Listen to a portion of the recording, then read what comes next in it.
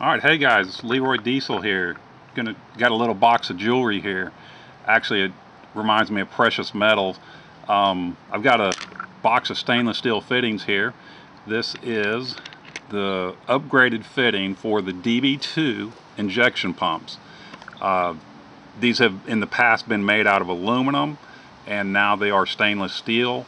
Uh, this side goes into the injection pump on a mechanically injected 6.5 diesel and then you can see how much bigger it is it comes out with the number 6 JIC and then from that point on it would still continue to be the normal uh, Feed the Beast hose kit or if you get the complete FFM with the uh, Feed the Beast then this will be the new fitting that comes with it.